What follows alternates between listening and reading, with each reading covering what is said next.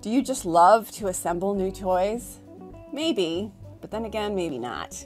When you get your new rose, you're really excited, but a little bit intimidated about the prospect of having to put all those pieces together. Well, the folks at Majacraft have taken into consideration ease of assembly when they designed the Majacraft rose. It is so simple to put together, it practically assembles itself. Watch me as I quickly and easily assemble my Majacraft rose so that you'll know what to do when you decide to add yours to your collection. I'm Jennifer Johnson with Whispering Pines Farm. My husband and I raise a wonderful flock of soft Shetland sheep. I'm also an authorized Majacraft dealer and I'm committed to holding inventory of the entire Majacraft line so that you don't have to wait to get the tools and equipment that you need to spin your dreams. I've provided a link in the description of this video, so scroll down and check it out. You can get more information about the wheel on my website. Before I go any further, I want to thank you so much for stopping by to watch this video. I really hope that you find it helpful, and you can help me by clicking on the like and subscribe buttons in the bottom of the video here as I work towards my goal of a thousand subscribers by the end of September. No more talking, let's get this gorgeous wheel put together. So I've got all the parts laid out on the table that I need. And I also have the assembly instructions, and these come in your package, but you can also download these from the web if you misplace them. Two additional items you're going to need when you do your assembly are a Posi-Drive screwdriver, and they spec it out in the manual. You also want to have some petroleum jelly, Vaseline handy, so that you can lubricate the shaft once you get everything assembled when it's time to put your bobbin on the, the flyer shaft. So the first thing that we have to do is we have to install the bolt stop and that's the first step in the manual. The manual is a little inconsistent with what you're actually going to get when you receive your rose. So I'm going to go through that with you fairly carefully right now.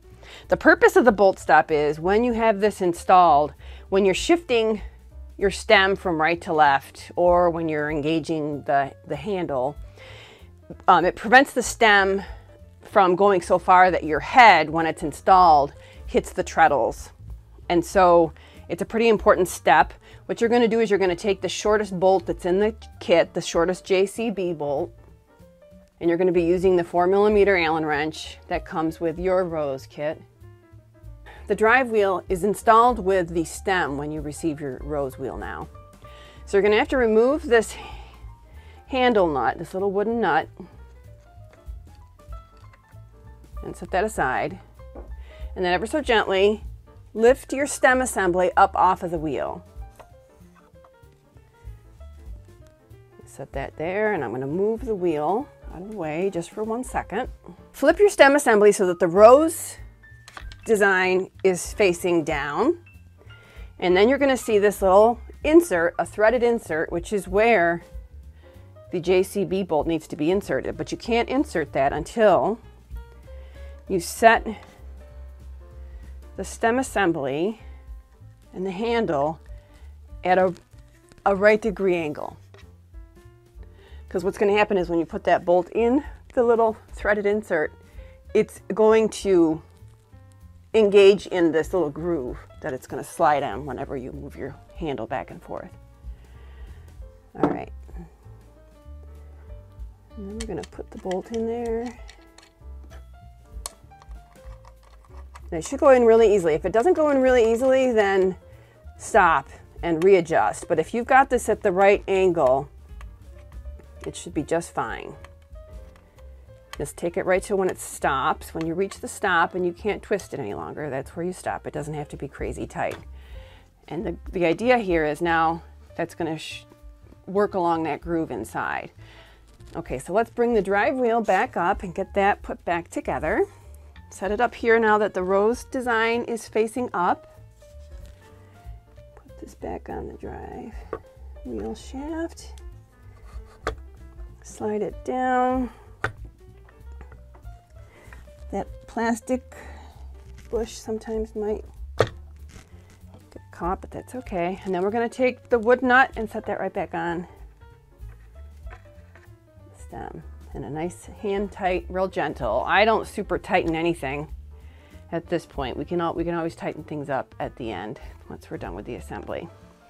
All right, so there, see now that stop is engaged and it prevents it from swinging down and hitting the treadle. So that's great, perfectly installed how we want it. Okay, next step.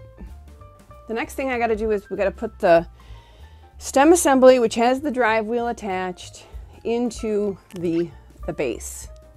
The base has really nice rubber feet that prevent it from sliding while you're spinning on a hard surface. For now, that's gonna also help me to stabilize it while I'm installing it. So I'm gonna set it on the hard surface so it's nice and stable. And then I'm gonna insert the stem assembly. So there are two threaded inserts for the JCB bolts on each side of the stem. Awkward. you can see those. And then there is a threaded insert on the bottom of the stem as well. So that's why you have the three JCB bolts. You're going to use your four millimeter Allen wrench for that. There's the hole in the bottom of the base that your third JCB bolt is going to go in once you get the top two done. So when you're doing this installation, the rose should be facing you and the um, flat part of the drive wheel should be to your back. And that's assuming that I got the Majacraft engraving here in front of me. All right, and I'm gonna slide the stem into position into the base so that those bolt holes line up Okay. Just trying to eyeball these so they get lined in there. Good.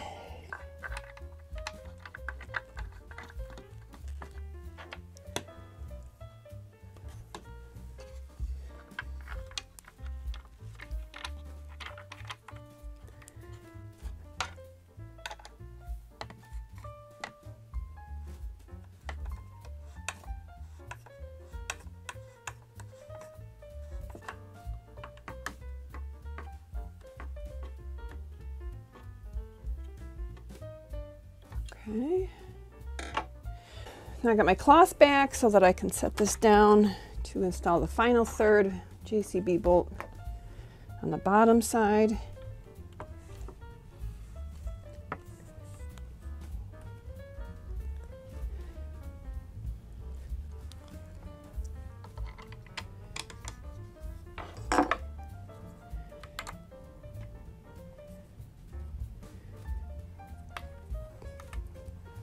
In the bottom bolt.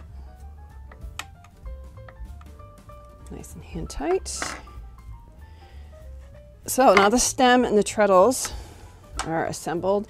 I'm pretty happy with how my JCB bolts are seated in there. Tighten up a little bit more.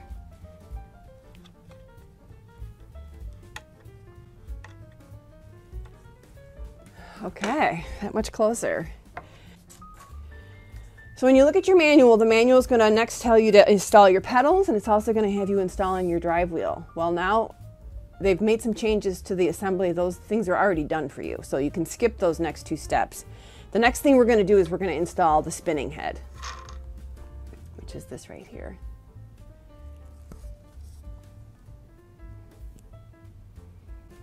All right, so one of the really cool things about the Majacraft design for the Rose is that the stem comes in these two pieces. There's two sides to the stem. And you put your head in between those two. But you can do it two ways. One way would be you can have it so that your flyer shaft is on your right, but you can also flip it over and set it up so that it's on your left. And it also can be anywhere, it can be placed anywhere in between these two boundaries here. So if you want a lower orifice or a higher orifice, this gives you that flexibility. So it's a really cool setup. We're going to take our 4 millimeter Allen wrench and there's a JCB bolt in here that we're going to remove. Taking care not to misplace the spacer, this little wooden dowel that's in the center here.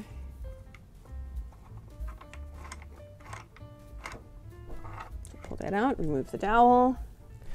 And then with your brake knob on the same side as your, your rose, you're just gonna slide the head down until it passes the hole for the JCB bolt. And then we're just gonna re-engage the JCB bolt. The spacer in there.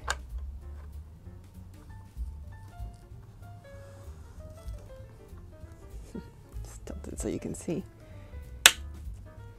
The next thing we're gonna install is the pulley. I'm gonna put the slow pulley on for this assembly. There's your flat on your flyer. So that's where your grub screw is going to seat itself to put the grub screw, which is inside of your little, your pulley. There's your grub screw. And you're going to take your two millimeter Allen wrench, insert it in the head of the grub screw to tighten it and loosen it as you're doing this assembly. So the grub screw is loosened up so that I can slide my whorl on the shaft. And I'm just gonna eyeball to make sure that my grooves of my whorl line up with the grooves of my drive wheel. Tighten it to the right. Now this one you wanna make sure it's pretty tight. And the reason for that is you'll hear people talking about it clicking and a rattling and stuff. And that's just because the the whorl is not seated nicely on there. So that's good. Time for the drive band. You want to put the drive band on before you attach your crank assembly. Grab a groove here, it doesn't really matter. It's going to be really tight. Which is good. That's what you want.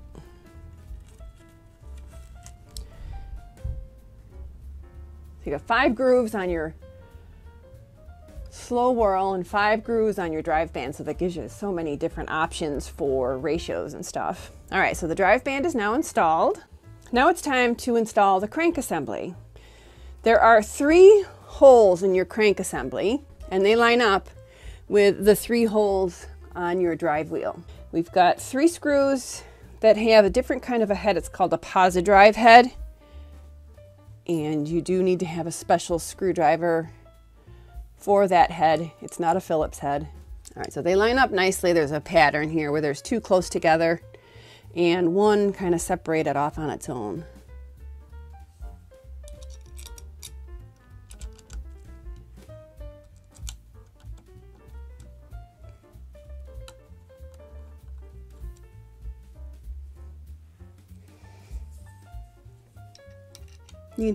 Just move the wheel, move the parts around just to make it so it's easy for you to find the holes to thread the screws in.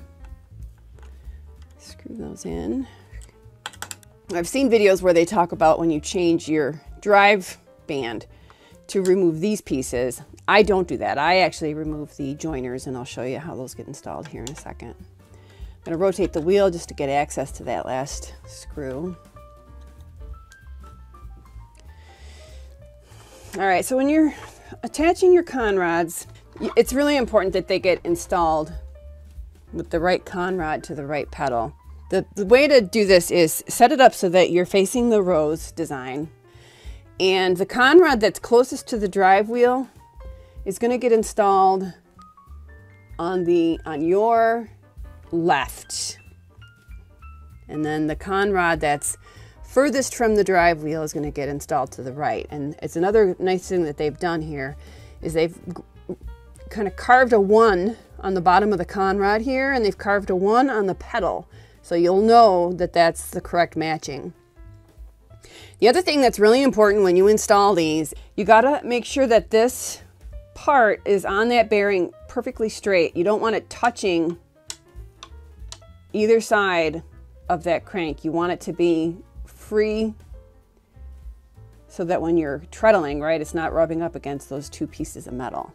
You can use the Phillips head on these wood screws on the treadle.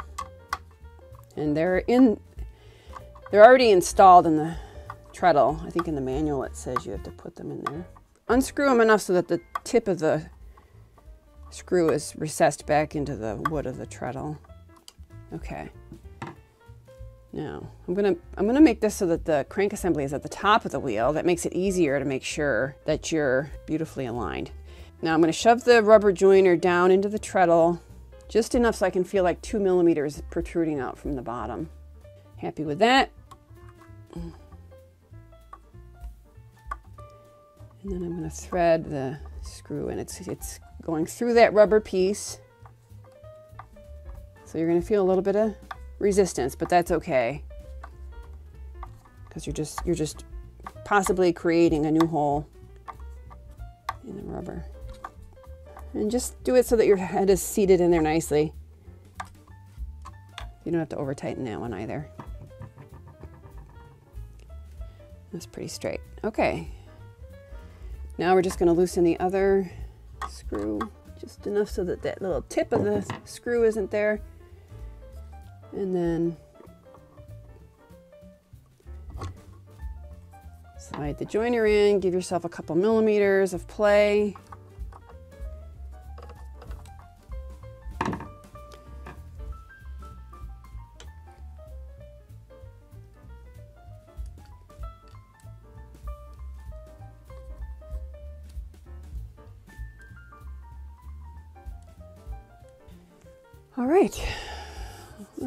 So that's that's the conrods to the pedals. Okay, all we have left to do now is to install the bobbin and the flyer. So the plastic bobbins come with a wheel and sometimes there's little plastic burrs on the inner diameter of your bobbin. So it's okay to just kind of work that a little bit on your threads. It feels like it's pretty good. I'm going to take just the tiniest amount of Vaseline, petroleum jelly. Do not overload your flyer shaft with lubricant, just a little bit. And then go ahead and install your bobbin. Put the brake band around the groove. Tighten it. So you've got a little bit of tension there. And you just install your flyer. Now normally if you're sitting at the wheel, you can install it by treadling. I'm just gonna rotate my wheels and then I'm gonna tighten it. Another reason why you wanna have a good tight um, attachment with your whorl is because I use that to tighten my flyer. And there she is. Beautiful rose wheel. I can hardly wait to start spinning on her. I almost forgot to show you um, assembly of the beautiful bobbin holder lazy Kate. So let's do that now. So it's just as simple as taking the three bobbin shafts that come with your rose and inserting them in these little holes in the Kate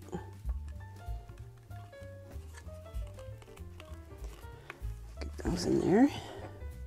It does take a little doing, but not too bad. So you're just, it's just really just putting them in there by force.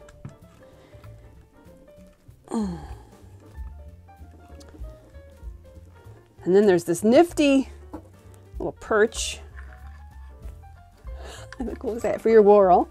And the magnet to hold your two millimeter Allen wrench, which is or yeah, what you're going to use to install your whorls. And then you just put your bobbins on there. Oh, this is so nifty.